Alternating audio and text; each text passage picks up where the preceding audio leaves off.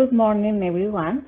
This, the, this is the Integrated Pest Management IPM, knowing what you need to look for. And this uh, webinar is uh, presented by Michelle Atkinson. Michelle is one of the agents in Manatee County Extension, and I will be helping her as well. My name is Nelly Nelson. What is Integrated Pest Management IPM? All the common indoor and outdoor pest problems can be prevented by using Integrated Pest Management, IPM. It's not just the application or the absence of pesticides. It is a problem solving process that is used to identify, manage, and reduce the risks from pests. In this webinar, homeowners will be able to implement practices to control common household pests, recognize human behaviors that cause pest problems, and how when to call a professional. These professionals will be helping you to control infestations related to public health, general rodents, as you can see in this screen, and damaging the structure that can be damaged by the termites. And as you can see, those are the ones that we're going to be seeing. Michelle, do you want to continue? Okay, Nellie, yep, I've got it. So um, we have some objectives here and uh, we're hoping that today you will learn how to be able to prevent a lot of problems that can happen in the house. Um, we want you to be able to recognize what's really a problem and what may not be a problem. Um, Nellie, I'm going to ask if you'll just mute because when you make a sound, uh, the camera will go over to you. So if you'll just mute, then it won't go back and forth. Um, so we also want you to know when to recognize it's time to call in a professional. And um, I've got some personal experiences in that that I'm happy to share with you as well. You know, it can it can happen to any of us. We can any of us can have a pest problem. So in order for us to um, even have a pest problem, three things have to be present. So there needs to be some kind of a water source for the pest, a food source for the pest, and also harborage. They're, they need to have a place to hang out. Um, so if you have a pest problem, a great way to try to overcome that is to uh, reduce one of those one of those issues. We call it, you know, a triangle and or like three legs of a stool. Um, and if you cut off one of the corners or if you cut off one of the legs of the stool, then you can help eliminate that problem. So we look for ways to um, reduce water sources available to pests, reduce food sources available to pests, and of course, reduce those harborage areas or places that they'll set up camp. So some of the most common complaints that we hear about um, indoors are ants like pharaoh ants. Now, um, we also have in my area, I'm in, in Manatee County, which is just south of Tampa. We also have ghost ants that come in pretty regularly. Um, but these are those little small indoor ants. A lot of people refer to them as sugar ants. Um, they come in for various reasons. Sometimes we notice a big um, infestation indoors or or they look for ways in when it's been raining heavily outside uh, their their mounds or nests outside become inundated with water so they're looking for a dry place to set up. Um, or sometimes when it's super super dry outside they're coming in looking for water. Um, so other reasons they come in looking for food. And different times of year um, they come for different things Sometimes they're looking for sugar, sometimes they're looking for protein. Um, it just depends on what's going on in the nest and what they need to feed the queen at the time. So if you think that just eliminating the you know sugary products um, and the availability to that will reduce these that's not necessarily true um, sometimes like grease on a stove or uh, butter in a toaster or something like that can actually attract them too because sometimes they're looking for like proteins and fats. German cockroaches oh those are like the worst and i do have personal experience with these guys um, but we do hear about these, especially in um, you know, multi-family situations like apartments or condos um, where one person is treating, but maybe the other folks that live there are not. Uh, one person's doing what they need to do, but other folks may not be. Um, so they can be a real, a real problem. And my experience is my husband is an auctioneer and he sells um, like a restaurant equipment uh, out of like and, and, this is awful but it's true out of school districts like the school boards he'll sell the big mixers and ovens and things um, from the school districts. And he brought home a carving station um, for his little outdoor grill area and somehow maybe on his shoes or something one of the egg cases came into our house and we didn't know it. And the next thing we knew, we had a infestation of German cockroaches. Um, they're very difficult to treat unless you know what you're doing. Um, there, we've got some good bait products now that are very effective, and we'll talk about that later. Um, but if if you don't understand um, how to bait and monitor, then you're going to have a really difficult time getting rid of these guys. And then the one that makes everybody's spine shiver is bed bugs. um, a lot of us, if you if you've had any experience with bed bugs, you know that they can be very challenging to control as well. You have to be very diligent in your clean out methods. Um, and making sure that you've gotten all the nooks and crannies taken care of. Um, but again, the best, best, best way to deal with these types of issues is really prevention. I guess that little guy came up. So that last little picture that came up um, is the bed bug, and then next to it is a picture of like some sheets or linens that, uh, bed linens that have uh, bed bug evidence. So what I do when I go into a hotel, uh, because even the cleanest, nicest friendliest hotels can have bed bugs. It's not them, it's the people that come in um, that can bring them in. And you may be traveling a lot and not know that you have them on your luggage and bring them in. So it's a real problem that hotels are constantly battling and looking for. But the way that I go in to check is um, I'll either leave my luggage outside with my family in the hall or I'll put it in the bathtub because there's not going to be bed bugs in the bathtub. They don't have that harborage, that place to hide. So um, you'll want to put your bath, your luggage in the bathtub. And then you go and you pull the linens off the bed, that nice neat bed that the, that the maids have uh, or housekeeping has done for you. You're gonna rip it apart um, and look in the corners and the crevices and the cording around the mattress. And you're gonna look for the, that dirty um, kind of look because they suck blood, so they excrete a very dark excretion. You'll see their little exoskeletons um, in those areas. So if you pull that that linen back and you see anything that looks similar to this, I would go downstairs and talk to management. Um, you do not want this problem because it's it is a challenge to get rid of. If you bring these home, um, there's some major treatment that has to be done to really get them out of your house. Okay, some other common pest problems that we have indoors are uh, fleas, ticks, um, pantry and fabric pests. Uh, so, you know, if you have animals, then fleas and ticks can be a real problem.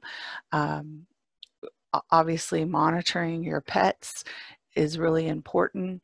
Um, to, you know, because that's the vector typically. They're bringing them into us, but once they come in, then they have us to feed on. So um, we want to closely monitor our pets and and us as well. You get little bites on your ankles and you're not sure what's going on. Um, you know, you may have fleas. So we'll talk about some ways to deal with that. Pantry and pest problems. Um, one of the best things to do is really eliminate the the way that they get into the foods. Um, store your foods in containers. You know, keep your uh, flour if you can't put it in a container other than the you know paper bag that it comes in put it in the freezer or the refrigerator so the pests can't get into them uh, cereals are another one that can can be a real problem. Um, sometimes rice um, you'll want to store those things in containers to help eliminate some of these problems. And then what do we hear about in the outdoors? Um, so ants, ants can be a real problem um, outside. Fire ants especially, we have them all over Florida. They can really hurt and sting. So fire ants are a, a big one. Another one is crazy ants. So in the photos, you'll see the red ant um, up close. That's a fire ant. And then next to the sidewalk, that's a fire ant mound, but just underneath that is something more like a crazy ant mound.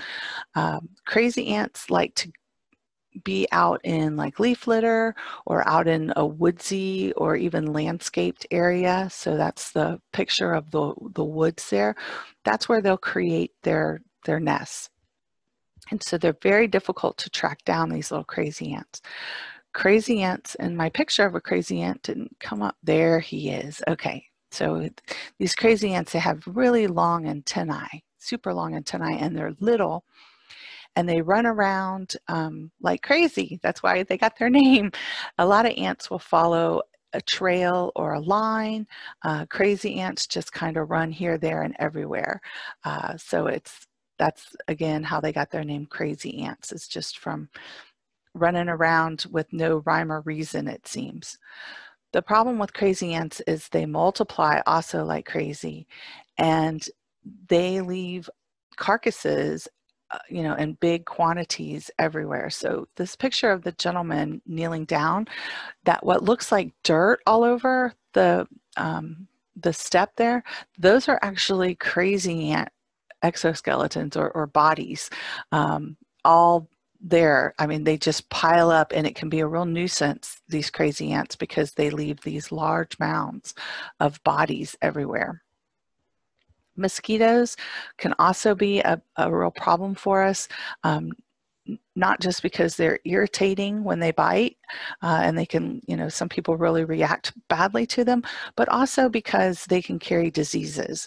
Uh, so we want to be sure that we're looking outdoors and that we're trying to eliminate their their the things that they like. So what is it that mosquitoes like? Well, in order for them to complete their life cycle, they need some water.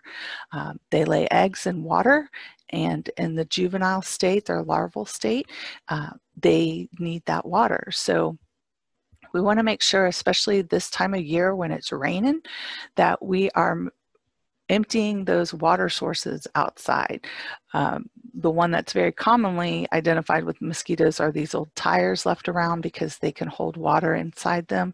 Um, very common breeding ground for mosquitoes. But in your landscape, even if you have a well manicured yard, sometimes we have pots and we put little trays under those pots so that it holds water for the plant in the dry time. That can be enough water for mosquitoes to breed in. Um, all they need is a bottle cap full of water to breed. So we want to make sure that we're really eliminating the sources. And if we can't eliminate the source, let's say you have a pond or bromeliads. bromeliads can be a huge area for um, mosquitoes to breed. We want to throw some product in there called, uh, it's called BT or Bacillus thuringiensis, and uh, you can buy them in granules, you can buy them in what they call dunks um, to put in your ponds or throw into your bromeliads, and it will eliminate those mosquito larvae from being able to breed in there. Okay, with ants, um, I just also want to say with ants, we're looking for ways to you know, get rid of them. We don't want to have uh, places that invite them, uh, but we also want to have attractive landscapes, right? So sometimes it becomes a real challenge when we have mulch and leaf litter and you know things that make a good environmental landscape to not have these type of pest problems and sometimes we talk about having that balance of um, wildlife in the yard that can help. Unfortunately, these invasive species like the crazy ants and our fire ants, uh, just there's not really uh, natural predators here for them, so they can overrun the area very quickly. So monitoring these areas um, is, is really important so you don't have a huge problem.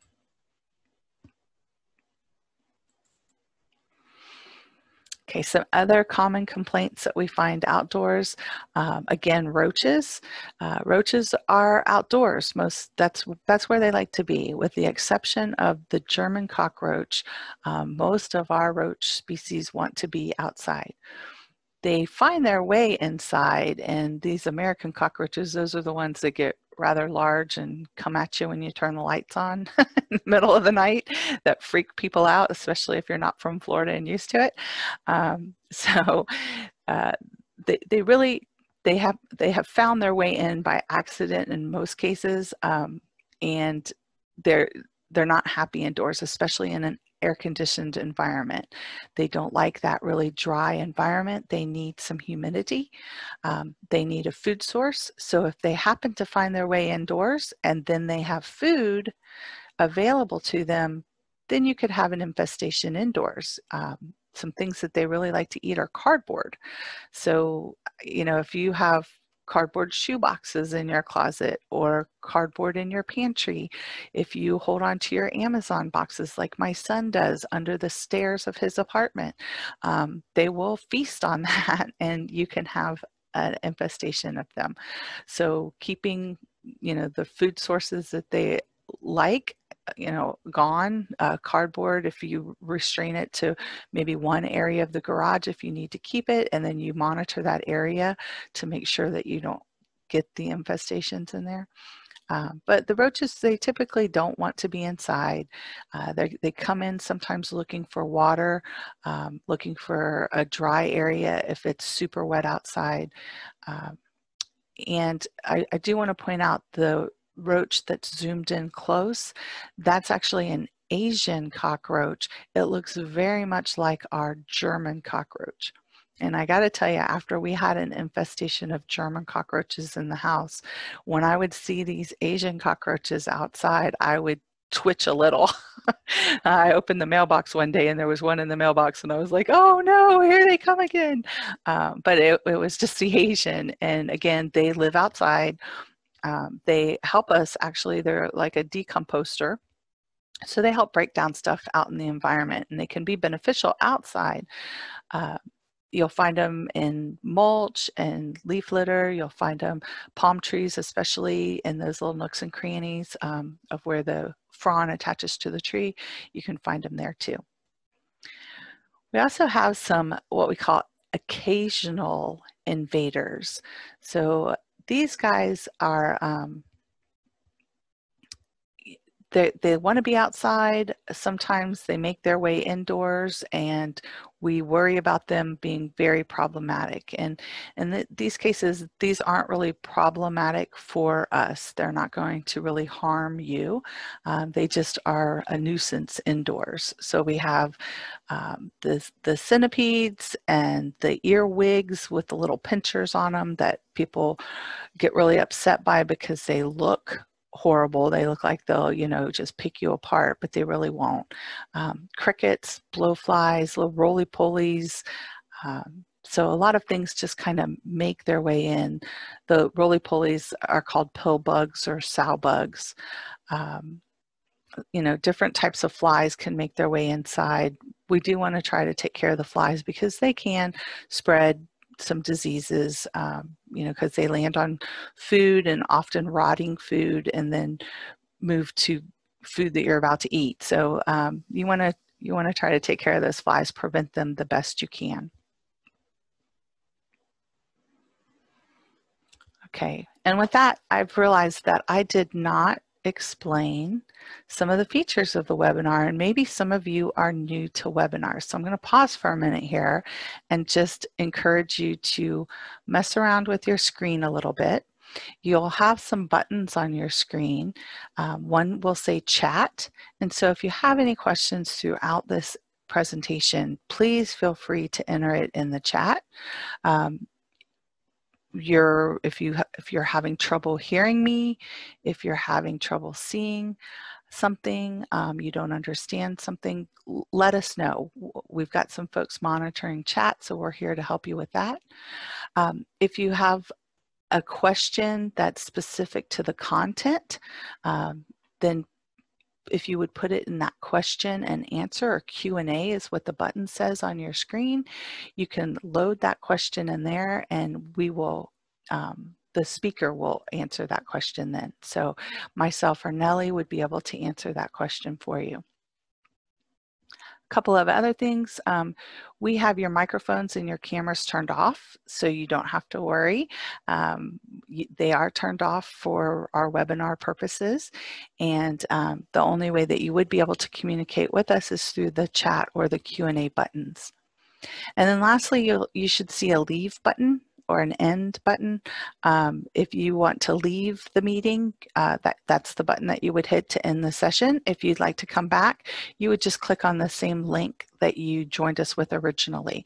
So if for some reason you have to leave and you'd like to come back, you can do so right through those buttons. So apologize I didn't um, share that with you at the beginning. Um, but now you know, and please feel free to chat with us as we're moving throughout this presentation or ask questions.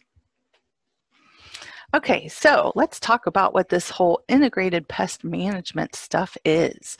Um, so we call it IPM uh, for short, integrated pest management, and it really is all about problem solving.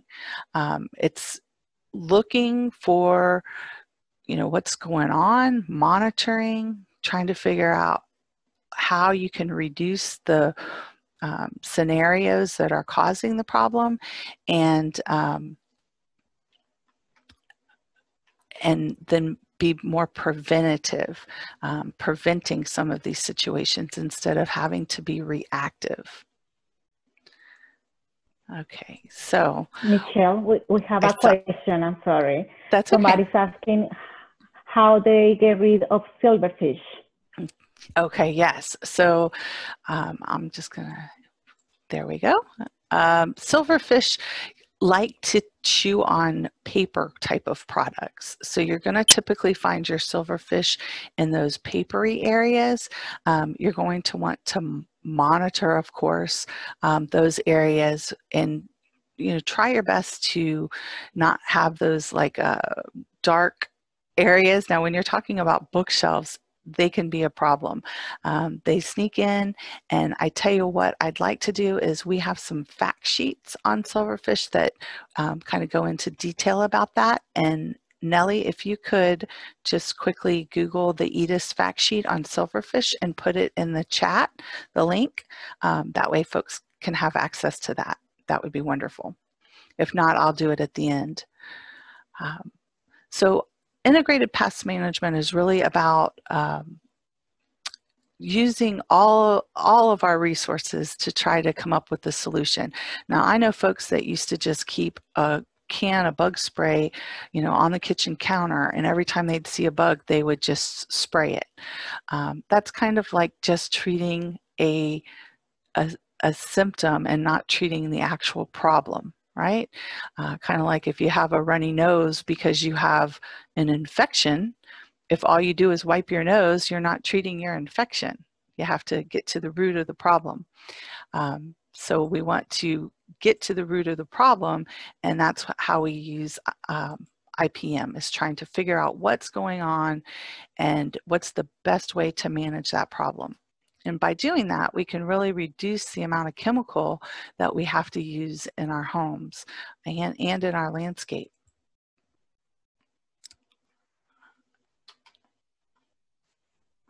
Okay, sorry, I'm trying to advance the slide there. All right, um, so we want to, in this whole process of integrated pest management or IPM, we're wanting to stop pests. Now, can we stop pests entirely? This is Florida. we're always going to have something, right? Um, so sometimes we have to be a little tolerant, um, but we can we can do a very good job of trying to eliminate and prevent. Uh, but you know, a fly flies into the house when you're coming in with groceries. It, it's hard to eliminate all of that from happening. Uh, but we want to stop as much as we can. We want to inspect and monitor for pests. Um, have that critical eye all the time when you're looking at uh, under your kitchen cabinets or in your pantries, um, in the garage, you know, you're going to constantly be looking for signs of pest problems. And I'm going to show you what some of those are. We're going to want to be able to identify the pest because if we can identify the pest, we can identify possibly what it's eating, what's attracting it to the area. Um, and then we need to, to come up with that game plan of what we're going to do to protect the home, protect the landscape. And then we're going to have to monitor and follow up to make sure that our plan is working. Okay, so Nellie was able to put that um, EDIS fact sheet link into the chat, so you can go there to find out more about silverfish. Okay, so when we're talking about IPM, we're, we're coming up with a management strategy in our house. And I have to tell you, um, my main role with University of Florida is to teach landscape professionals and pesticide applicators uh, these same strategies. Uh, I teach them the same stuff.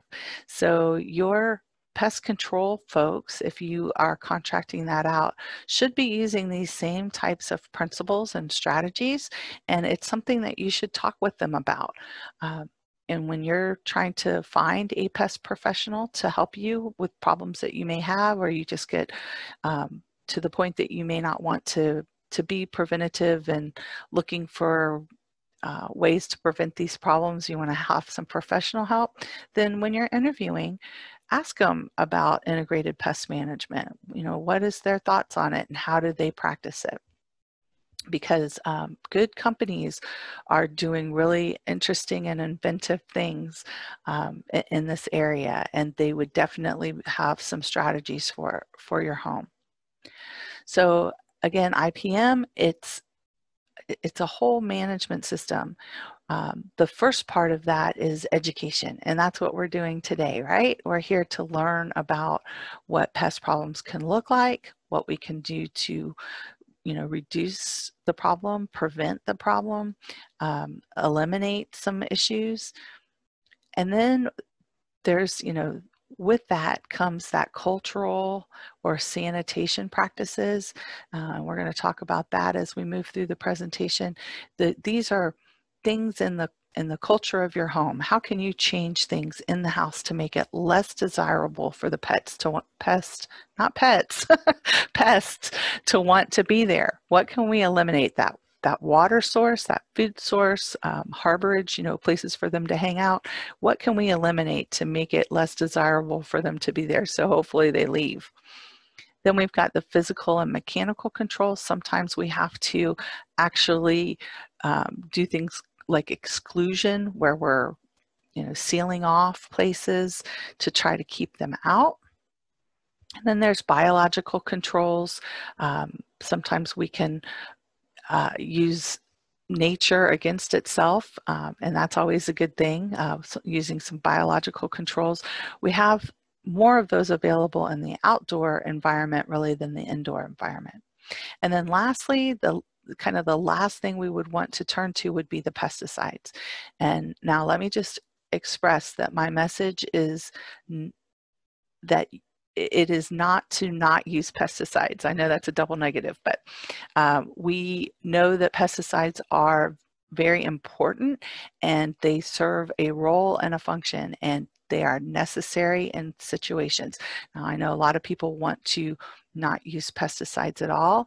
Um, I understand that philosophy, and your home is your home.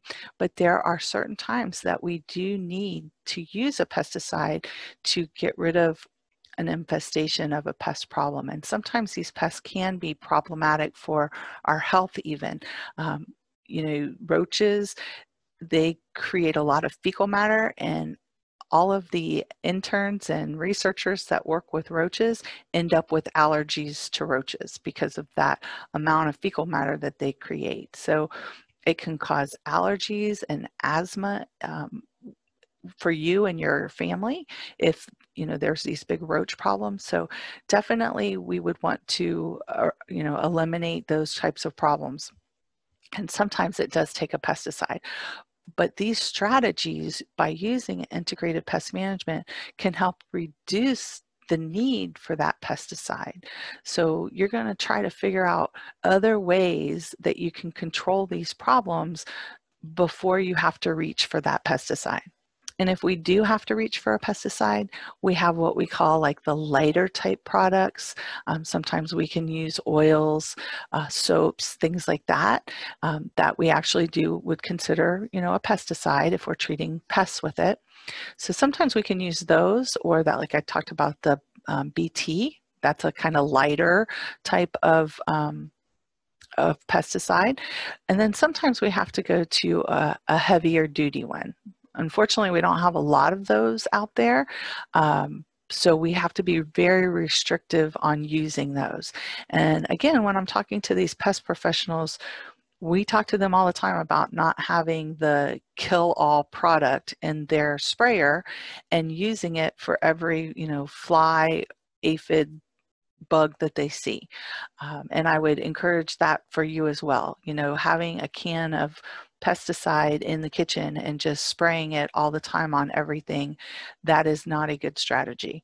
Um, not only is it not healthy for you and your family, uh, it's it can create problems where the pest can actually be resistant to that pesticide and you end up spraying a lot of that pesticide uh, with no result and you still have the pest problem. So using these strategies um, can really help the need for the pesticide and also help us with that resistancy issues that we constantly battle out there.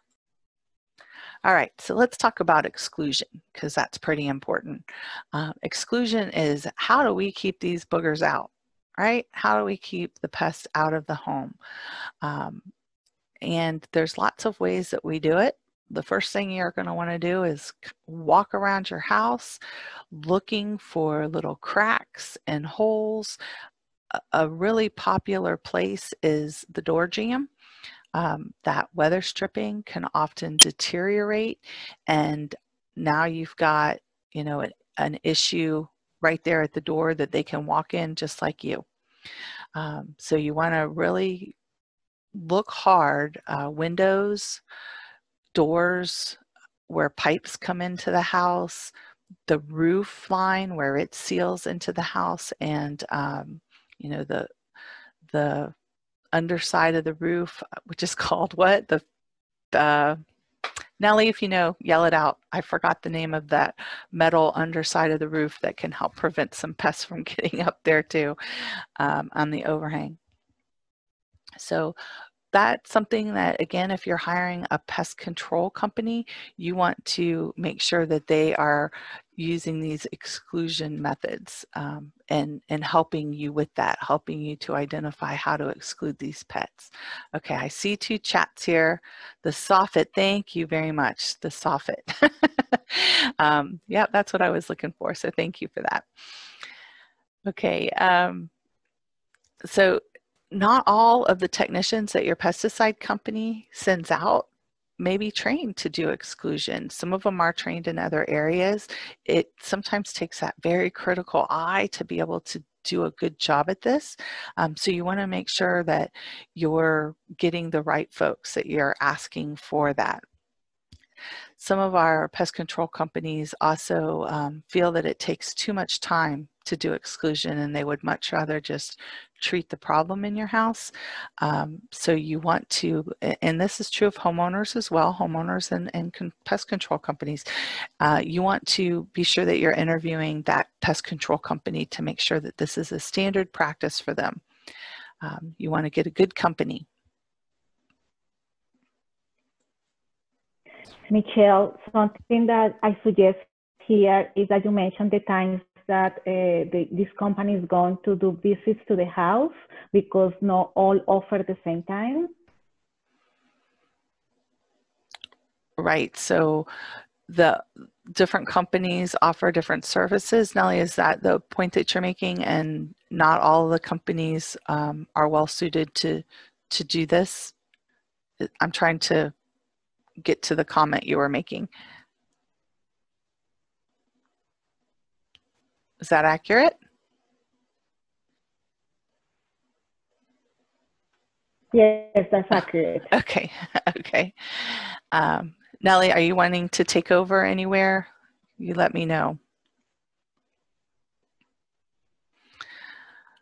Okay, so as a homeowner, you are the best person to not only advocate for your home, but to be super involved with the prevention of pests in your home. And why is that? Uh, well, you're highly motivated you live there. it's your issues, right? And it's the um, things that you have to be annoyed with in your house or can cause damage to your home or your investment. So you are highly motivated to find a solution. Um, not only that, you're around it, you see it. You can take the time and figure out where the ants are coming in at and follow them back to their nest to try to, um, you know, eliminate those issues exclusion, again, it does take time, but you know, you live there. So checking your windows, just maybe as you're cleaning your windows or cleaning your windowsill, do that check around the window. Look for the seal. I actually had ghost ants in my office this week, and we had a, a big rainstorm and um, had a, a whole little pack of ghost ants that came in and I found that they were coming in through the windowsill. Um, some dirt had built up underneath the windowsill or underneath the window jamb, you know, where the window connects into the frame and some dirt had built up and it caused the window to not go down enough that the ants were able to come right through there. But, you know, this is my office and I was sitting there and watching and trying to figure out what was going on and where they were coming from. And I had time and fortunately it's in the air conditioning that I could do that.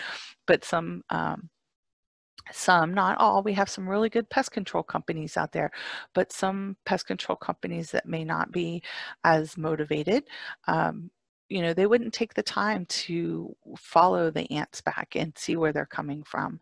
Um, so we want to, again, be really good about interviewing our companies, making sure that they take the steps to do that instead of just coming in and spraying um, the ant situation that we have because again that's just treating a symptom. It's not really treating the problem.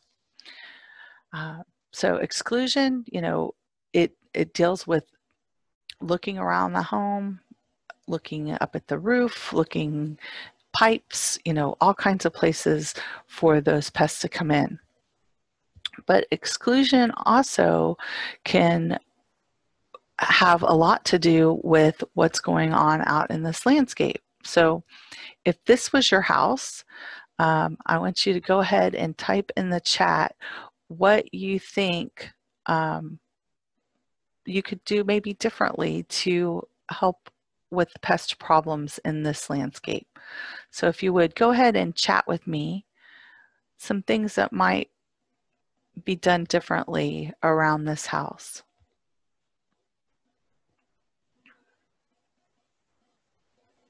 I'm going to give just a minute. We've got some saying that the plants are too close to the home. And that I agree with. So, yes, if you've got plants that are touching your house like that, or especially, you know, coming up onto the roof, it looks like next to the window there might be a vine that's coming up onto the side of the house. Um, that makes a great bridge for those pests to come in. Um, you can have pest problems by having those opportunities for the pest to climb up the, the plants and come right in. Um, so having a little bit of clear space between your home and your plants is a good idea um, for, for pests especially. But for other reasons too. It helps you to maintain your home easier too if you keep that clear space, but it's especially important for pests. So we really, we recommend uh, leaving about two feet from the base of your home, the foundation of your home, out to where your plants start.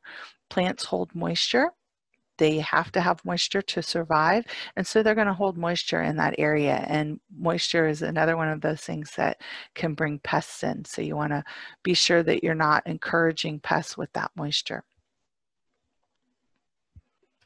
Okay. So some more things that you can do to prevent pests um, when we go to the grocery store or especially the pet store to buy pet food, you want to be inspecting those items before you bring them into your home. Remember my story about the roaches? Uh, I did not heed that advice and we did not inspect that piece of equipment very well and we're quite sure that that's how we got the roach infestation. Um, so definitely inspect items coming in. And it's not just from the grocery or the pet food store. Um, pet food is one of the common ones that insects come in on. Um, but it's also if you shop at thrift shops, you'll want to definitely, you know, Goodwill, thrift stores, picking up interesting stuff on the side of the road. And I'm not discouraging you from doing these things. It's a great way to recycle, right? Um, however, you just want to inspect the items before you bring them into your house because you could be bringing in bed bugs. The reason that bed frame is on the side of the road could be because they had bed bugs and they were just fed up and took it all to the road. So, um, you know, inspect things really well before you bring them into your house, especially um, from the grocery store, you know, your cardboard items, you know, make sure that as you're grabbing them from the store shelf, even that you're inspecting them, looking for little chews, chew marks, um, things like that. So German cockroaches, again, really bad problem. Um, if they get established in the house, it, it does take a little bit for you to get rid of them. Uh, so you want to prevent that as much as you can. Uh, they commonly come in in cardboard or paper bags. Um, those you know i use i ask for paper bags at the grocery store if i forget my reusable bags because you know we're all trying to reduce our one use plastics right? Um, but we have to be careful with those paper bags that we're not bringing in some pests because that can be really common. Those paper bags are stored at the grocery store where there's a lot of food and other items that can be um, sitting there you know for the the pests to have a good infestation in the store um, and then they get into those bags. So you just want to be careful with your bags that you're not bringing some some pests in. So um, insects are really good at multiplying. That's their you know function is to to breed and multiply. So they're really good at it. And roaches um, mosquitoes flies they can they can lay, you know, hundreds of eggs in their lifetime. So um, very quickly you can have infestation. So you'll want to always, always be monitoring, looking for things, uh, signs and symptoms of a pest problem. So let's talk about that exclusion again. Um, you want to make sure that you're sealing the building we're, we call it the building envelope, you know, the outside perimeters and sides and roof of your house. Um, you'll want to keep outdoor pests outdoors. um, so we want to keep them outside and not have ways for them to come inside. So let's look at how we can do that. If you take a quarter and turn it on its side, just like in the photo, that quarter on its side. That's as much space as is needed for a lot of our pests to be able to come in. So um, American cockroach only needs that thickness to be able to enter the home. Sometimes we will talk about in terms of a credit card too, the side of a credit card. If you can slide that in, it's easier sometimes to use a credit card um, and door jambs than a quarter because it's hard to hold it when you slide it in. Um, but if you can slide in a credit card or a quarter, then an American cockroach would be able to come into that house.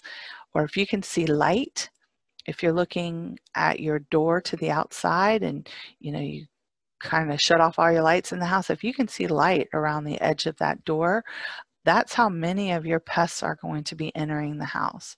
So this is a commercial building and this um, photo with the double doors and you can see, I'm hoping you can see my, there you go, you can see my mouse right there. Um, that crack that is a huge crack. All kinds of pests can be coming in this door. Um, all kinds of bugs and insects uh, can come in there. So we would want to do something to seal that. Get some weather stripping, um, get some kind of a sweep on the edge of that door. Another really great thing to do is install one of these door sweeps on your door. Um, that bottom um, area right there, it's really common for the weather stripping to get worn out from you know walking through that area or rolling things over that area so installing one of these door sweeps on the door itself um, can help keep that area sealed door sweeps cost as little as $10 at uh, you know our, our box stores and um, you can grab one and put it on that's very helpful okay screens another great way to um, keep those bugs out. You want to make sure that your screens are in good repair. Uh, you can see the one here is going to let the mosquitoes and the flies right in because it's got too big of openings.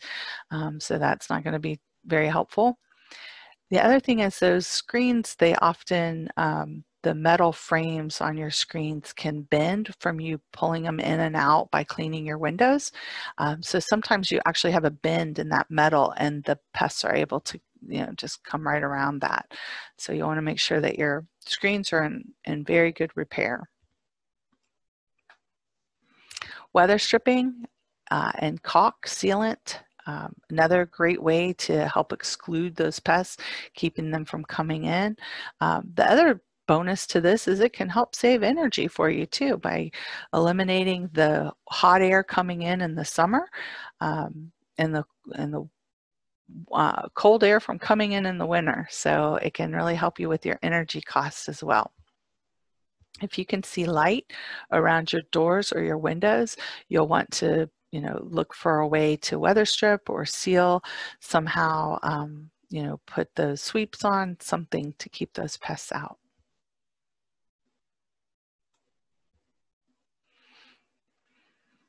Okay, so again, um, size of a quarter, the edge of a quarter, that's all they need to come in. So you want to make sure that you're um, looking for any light that is, is that, you know, just that small of an area. Um, but you'll also want to be sure that when you're weather stripping, um, that you're using a good kind of weather stripping. Sometimes, um, unfortunately, the weather stripping or the you know rubber type strips, some pests actually enjoy the taste of. Um, so you'll want to make sure that you're you know getting a, a good one, um, that it's not something that the pest will eat through and come in anyway. Just make sure, you know, once you've got your weather stripping in place, that you know you shut the door and that it it's effective. Um, sometimes weather stripping can be very thick and it can make it so your door doesn't actually seal properly. So if you get you know the wrong thickness if it's too thick sometimes that can actually create a bigger gap or or a gap that wasn't there before. So make sure that you're following up once you install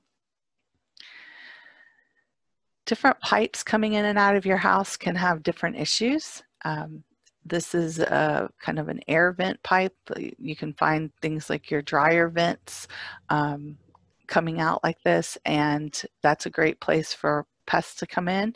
In this case, uh, they've put just the metal um, the metal screen on, and that's really more of a rodent control uh, to keep the the rats and mice from getting in there.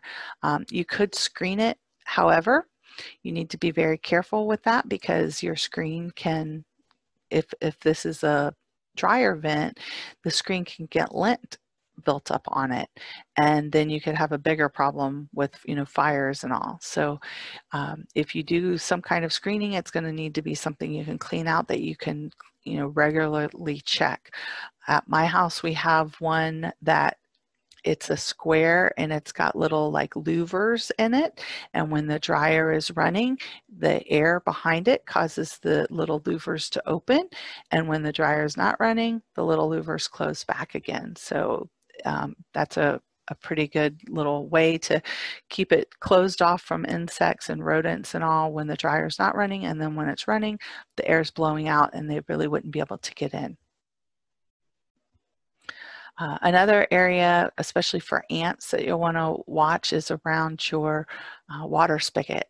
So where your water spigot is outside, you know, over time use moving back and forth sometimes in your stucco it can there can be a little opening and the ants can come into the home. That way they get into the walls um, and then you know find a way in once they're in the walls. So sealing around those water spigots can also be really helpful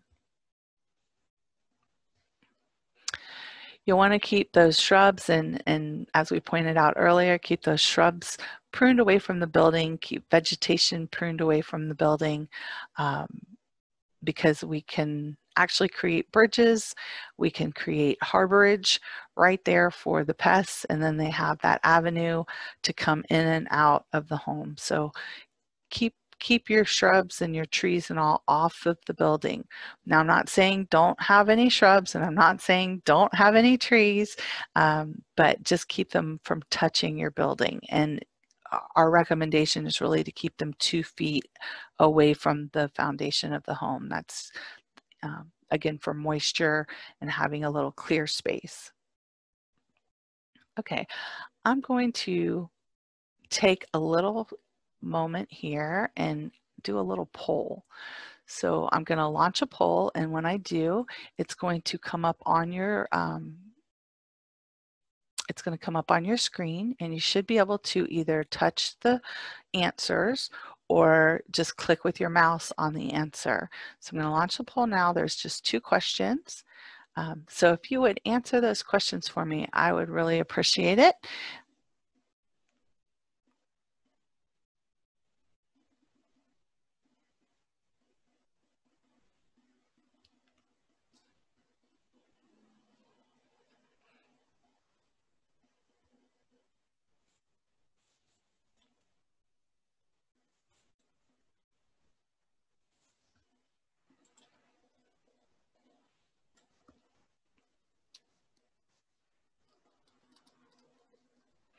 We'll take just a couple more seconds.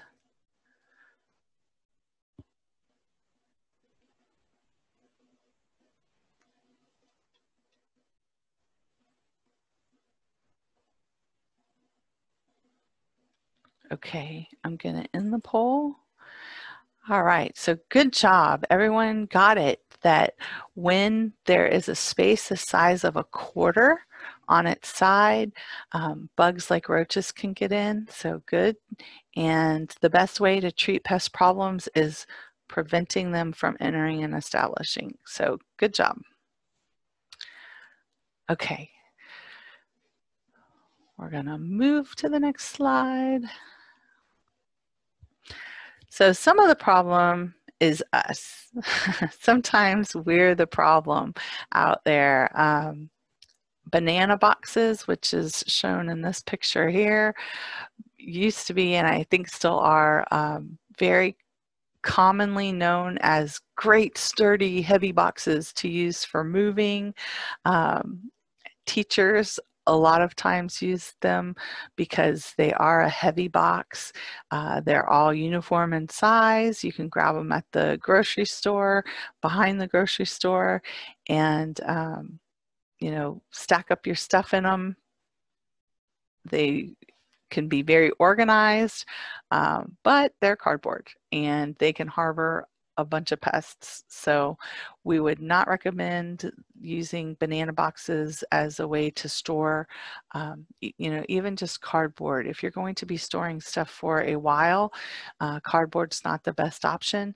Um, try to get some some kind of a tote that's not made out of cardboard um, so that you're not harboring those pest problems. Schools can be a, this is taken from a school, schools can be a, a real problem because of the cardboard storage and, um, you know, food here, there, and everywhere. Uh, also clutter. Um, and that's the next photo here. And I know nobody on here has a home that looks like this, but this is a real photo. Uh, there are times that, you know, our pest control operators are walking into these types of situations. Um, and so how could you even treat that problem?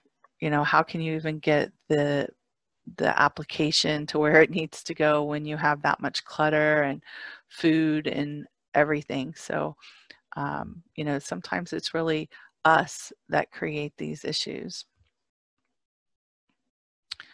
Um, sorry, I'm doing a little mouse thing here. All right. There we go. Okay, so decluttering. Um, if you were coming in and you had a pest problem and you were looking at these two different scenarios, which space would be easier for you to look and see where the problem actually is, where it can be coming from? Um, so go ahead and chat with me. Which would be your ideal scenario?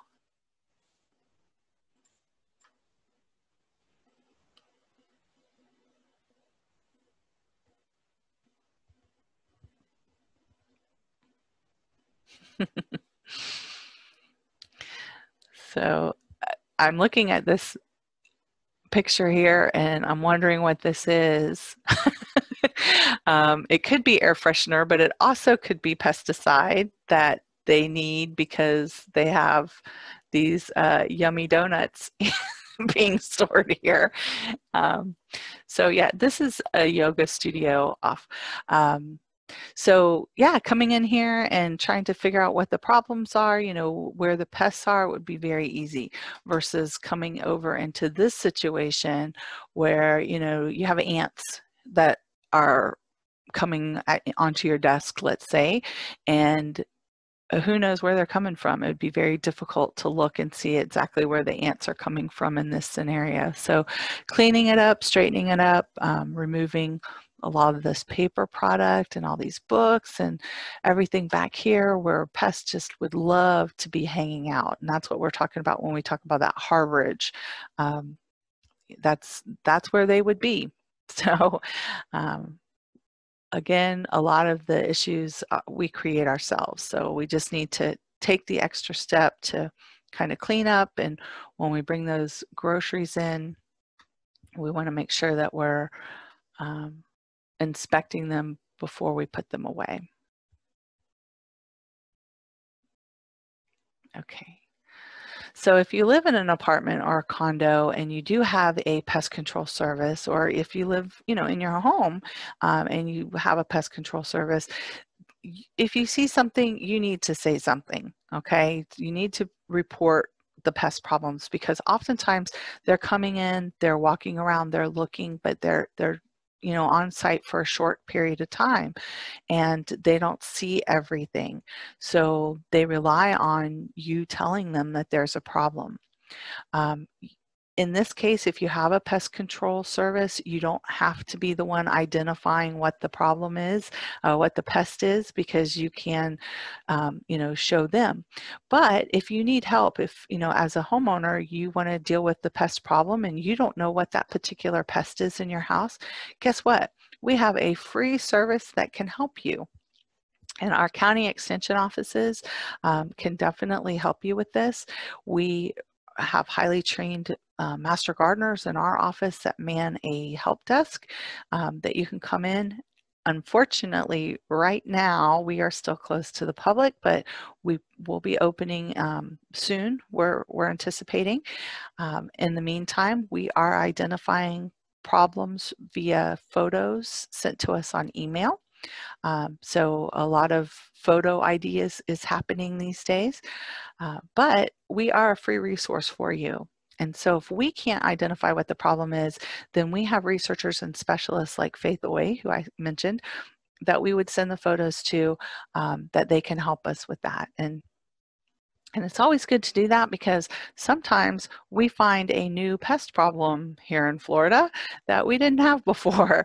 Um, so we always want to identify for many reasons. Um, one, to you know make sure we don't have some new bugaboo in Florida, but also to know how to treat that issue. You know, if you you know know it's an ant versus a termite those two can be very difficult, challenging to tell the difference between. Um, you're going to treat those two situations entirely different, uh, ants versus termites. So the exclusion part may be similar, um, but when you have the problem, treating it, it's going to be entirely different. So you need to know what you're dealing with so you know how to treat it. Sometimes we can't find the pest itself. All we can find is maybe some frass or some droppings of some kind, some damage, chewing, gnawing. Um, so sometimes we can identify from that. Like termites, for instance, have very unique droppings. Um, if you brought me termite droppings in, I could tell you very quickly that that's what that was. Um, so you know, eh, just because you don't have the pest itself doesn't mean that we can't help you identify it. So we can help here at the extension. We're a free service. And then also your pest control operators can help.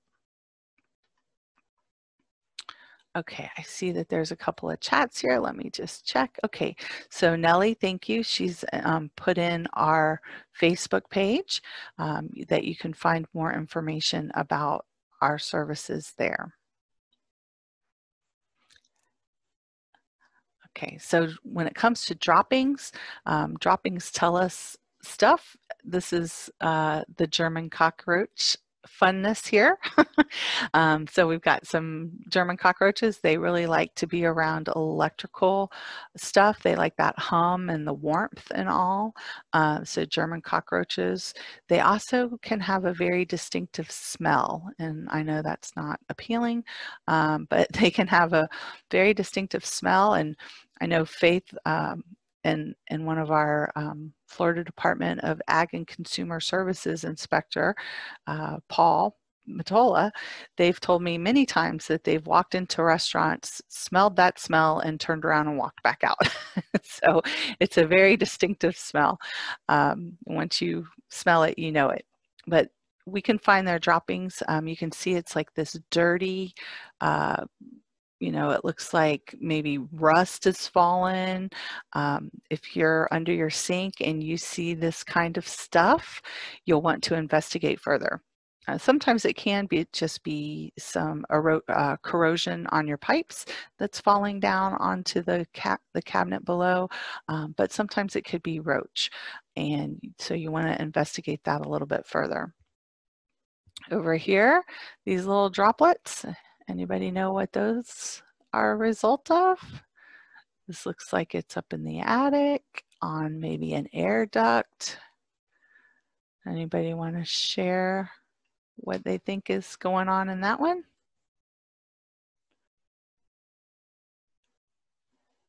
Eggs we've got and rodent, yep.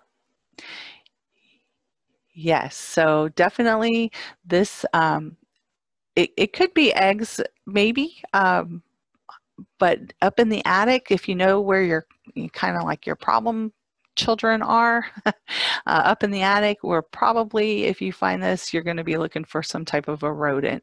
Um, you know, rats um, typically leave these kind of droppings in the scattered pattern like this from them running back and forth. They typically kind of have a pattern that they use to come in. Um, typically they're coming in and it's their harborage. They go back out at night and if there's not any food or water sources, um, they just use your attic sometimes as a harborage space. Then this photo down here, um, this is droppings. Any idea from what these droppings could be from? This one is something unique, not droppings. However, notice how similar it looks to droppings. Any ideas on that one?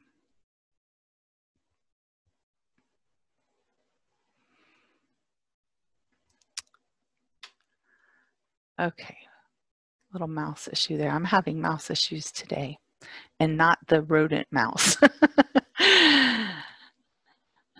okay, so actually when we're looking, so we, we see that this is a leaf, but I see this, um, we have a light outside our door and I see this very commonly around um, the ground where the light is. And these are droppings. It could be uh, frog, but most likely lizard. Uh, lizard droppings, frog droppings can be similar sometimes, but uh, like lizard droppings, if you were to crush them and look, they're full of little insect pieces and parts. But this is actually the larva of a swallowtail butterfly, and it looks very similar um, to this, or, sometimes people will say it looks like bird poop. Um, so interesting to note because if you happen to see one of these little guys, you know that um, you've got a little butterfly there. So always identify, identify, identify, right? Before we treat especially. We Okay, so evidence of pest problems. You know, we've talked a lot about paper bags and cardboard, and here's what it looks like. So if you've got some roaches and, you know, a little roach infestation, um, you're going to see some droppings left over from them. Um, so it's going to look, you know, like this. So if you see this, you've got a problem and you need to start clearing out your cardboard. Some other things that you might see are um, webbing. Uh, you might notice when you're going through your groceries uh, that you find, you know, in in rice sometimes uh, you'll find like this webbing or in some of your cereals and all. Um, so we call those pantry pests. Um, or you'll you'll actually find the pests themselves in there. There are little weevils. You can see this little weevil guy here um, that can get into these products. And uh, some people just, you know, deal with them, pull them out of the rice when they're cooking it. they see a little brown piece of rice and they pull it out because, um, but sometimes it's weevil. So we want to just be sure we're not bringing the problems home. We want to be checking our products as uh, we bring them in to make sure that this isn't happening. And one of the ways to do that is to transfer it into a container. Um, again, I share my experience with German cockroaches. It was horrible, and we changed our whole way of life of how we do things in our house. Um, we do not have any cardboard boxes in our pantry. We take everything as soon as we get it from the grocery store now and put it into a plastic bin. Any rice, pasta, cereal, um, even tea. You know, tea comes in cardboard boxes. It all goes into uh, sealing, you know, airtight type of containers um, in the pantry, just because that was a real headache to deal with at the time.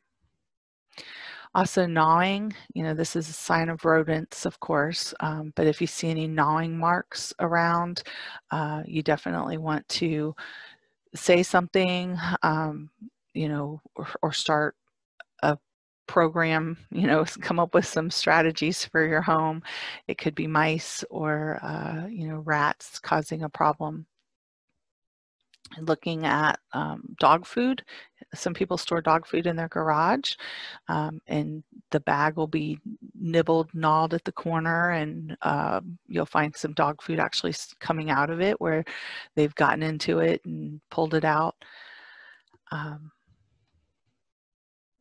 so, you know, constant monitoring is a big a big part of this pest prevention or, or pest monitoring, pest prevention, pest control. Uh, mm-hmm. we're again constantly looking whenever we're cleaning, vacuuming, uh, in the garage. You know, if you see something strange, you want to you want to say something or, or come up with a strategy to deal with it.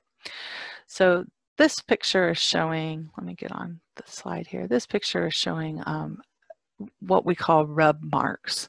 So when rats travel, they typically will travel on pipes like such, and when they do, they leave kind of like this grease mark um, where they go. So when you see, you know, especially in on pipes or on wood beams um, in the attic, when you see this kind of look to it, you'll want to investigate further. I would start looking for droppings, um, start looking for chew marks, and see if that's the issue. Um, but a lot of times when you see this, you've got a rodent issue. Okay.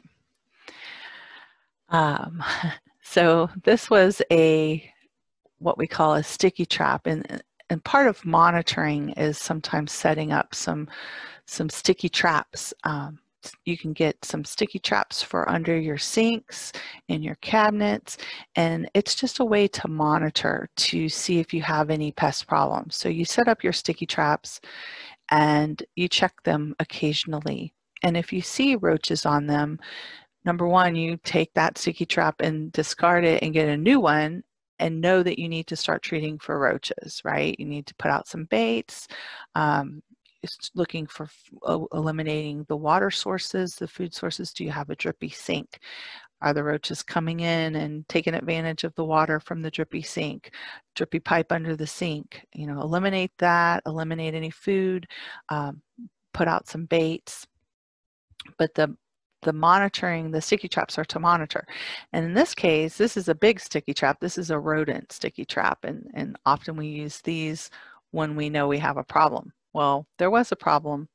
That is the skeletal remains of a rodent.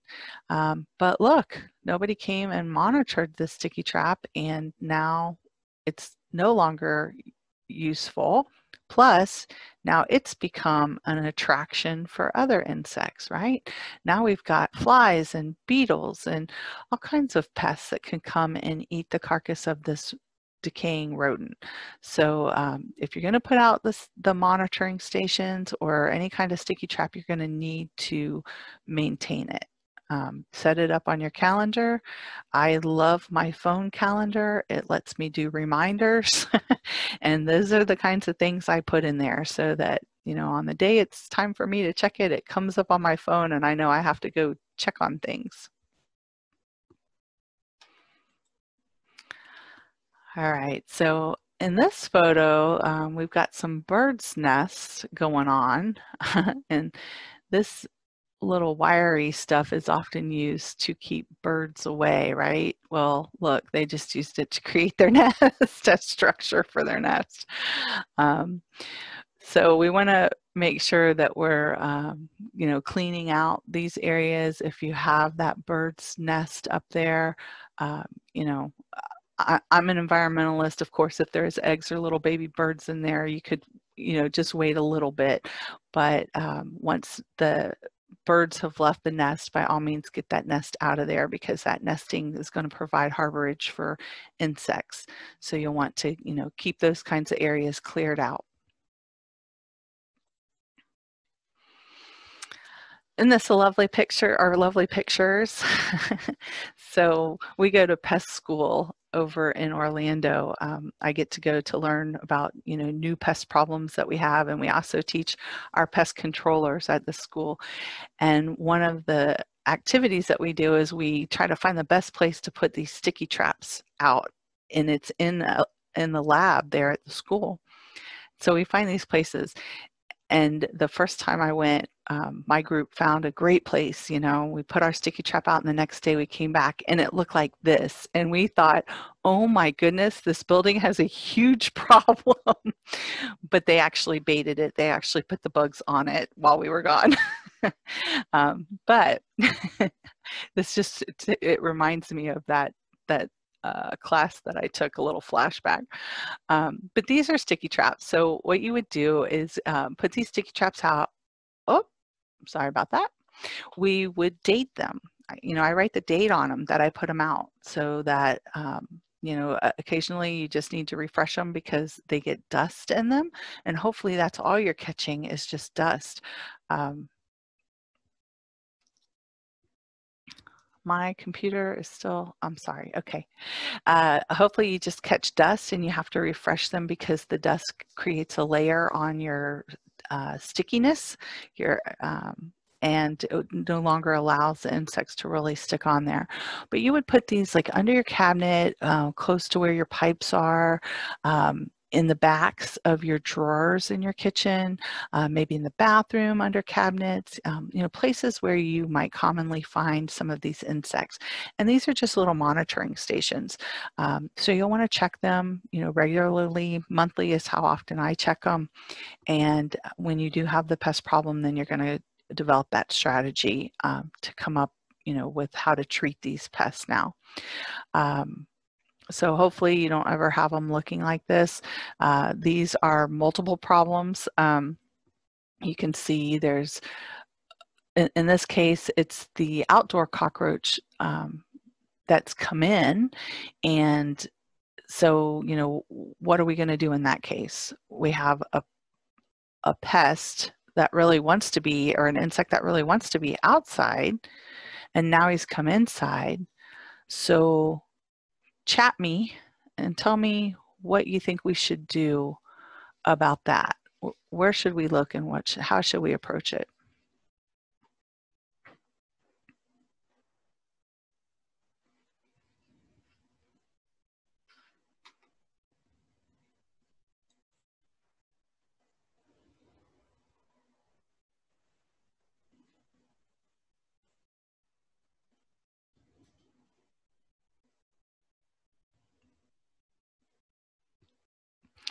So I see some folks chatting in. Thank you. So yes, looking for um, any food sources, eliminating that, looking for any water sources, eliminating that, and looking for how they got in. You know, that size, uh, the side of a quarter or a credit card, you know, looking for openings that big and, and that's how they probably got in and eliminating those openings. So that's the kind of management strategy that we would come up with if this is what we saw in our in our sticky trap.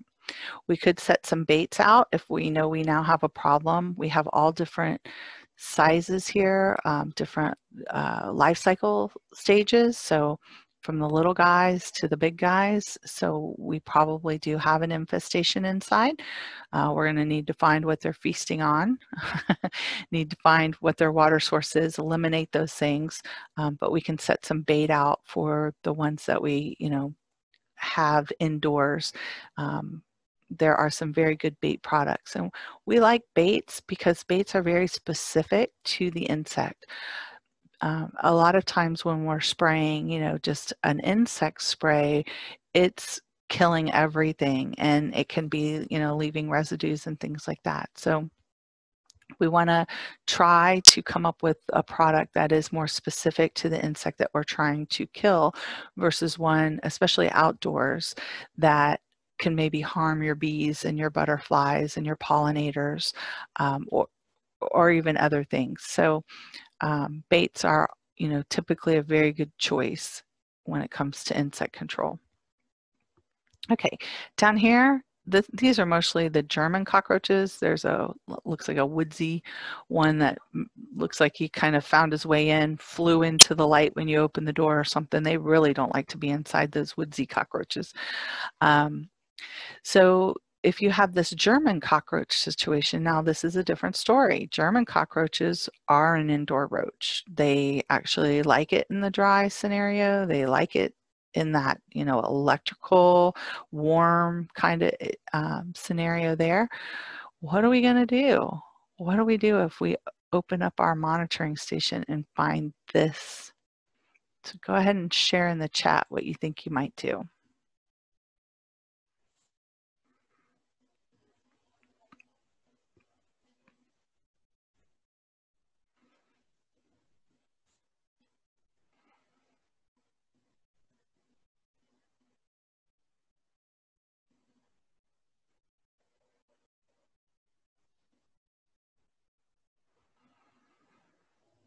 Okay, so with these German roaches, again, you're going to want to find, you know, try to find what their um, eating, they can go a very long time without water. So water typically isn't going to be something that you're going to eliminate and make a dent on these guys.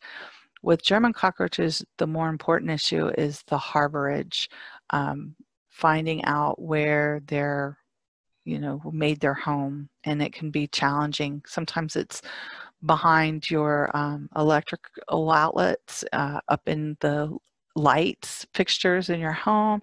Um, they like that electrical stuff. And in our case, it was in the dishwasher um, insulation. So when we pulled out the dishwasher, we found them and it was not a pretty sight. um, but that's where they were, that whole insulation around the outside of the dishwasher in that cabinet. Perfect environment for them. Warm um, that electrical you know dark everything. So that dishwasher went straight to the curb when we found that. Um, so with this situation um, trying to find harborage is going to be really important but in this case you're going to need bait that's you know they're indoors they've established and you're going to need to bait to get rid of them and you're going to have to be vigilant about you know continuing to freshen your bait um, put it in various locations and continue to monitor until you you know are no longer getting them in your sticky traps